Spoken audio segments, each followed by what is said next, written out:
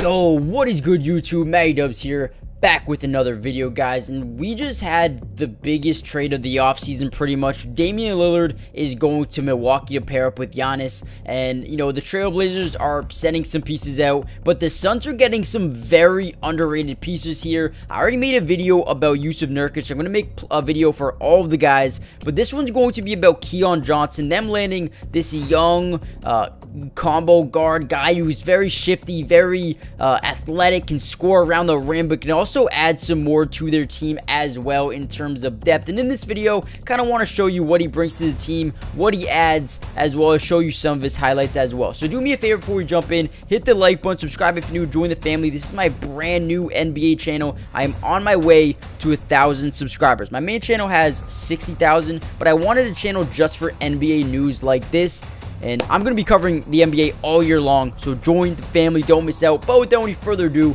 let's get into the video. So, Keon Johnson, a very young wing who is athletic, cuts very well, um, has shown signs of being able to shoot the ball, but isn't the most consistent. Now, in terms of his development, he is a guy that I've seen go from here to here to here. He's getting better and better and better as time goes on. Throughout his first season in the NBA was back in 2021. He only played in roughly about 30 games, maybe a little bit more than 30 games, uh, but was averaging about you know, six points per game or 3.5 points a game, and then he got traded to the Portland Trailblazers, where they gave him a lot of burn. Obviously, Damian Lillard was not playing. I believe uh, CJ McCollum was still there, where he just got traded. Um, he actually came or went to Portland and did really good uh, average about 9.7 points per game, uh, shooting 83% from the free throw line, 35% from the field, which I know is not the best, and also about 35% from the three-point line. So obviously he's shown signs of being a good three-point shooter, but needs to develop, needs to continue to grow as a player overall. But what you're getting out of Keon Johnson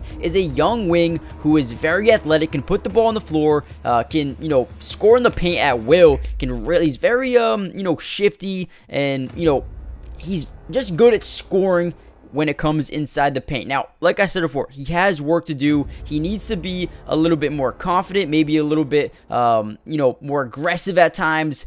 But overall, he's a hustler. He's going to want to win. He's going to want to win every single rep that he puts out on the floor. And he's going to want to make a difference. Now, he's coming to a Suns team that has a bunch of depth and a bunch of veterans in terms of, you know, Devin Booker and Bradley Beal and Kevin Durant and now Jusuf Nurkic. So he has guys that he can learn from, which is something that will tremendously help his game overall. Uh, but when you talk about a high flyer who can run in transition, that's Keon Johnson. This guy can really fly. He can really jump out the gym, and he's going to make splash plays. He's going to give you momentum plays. Um, I don't think he's going to be a starter. Eric Gordon's also in Phoenix now, so they have guys who are going to play. Keon Johnson is a guy who can just change the momentum, change the tempo, and, um, you know, someone that they can develop as long as they're, you know, trying to go all in right now. He's something to build for the future, as well as maybe use trade bait as well. So let me know what you guys think. Hit the like button, subscribe if you're new, join the family.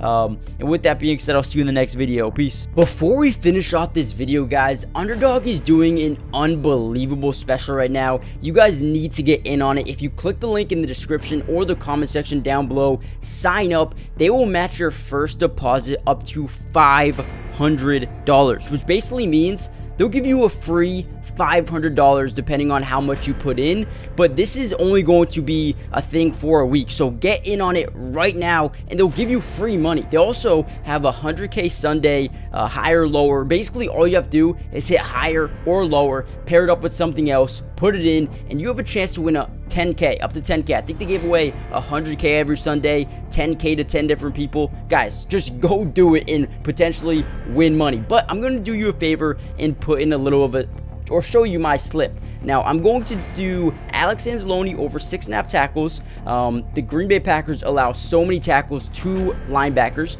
And then I'm going to go to the other side of things and go Darnell Savage over six and a half tackles as well. Again, they allow so many tackles to DBs because they're passing the ball a little bit more with Dave Montgomery questionable. Maybe going to throw it to Jahmyr Gibbs a little bit more than you think. And Darnell Savage is a guy who can come up and just make big time tackles.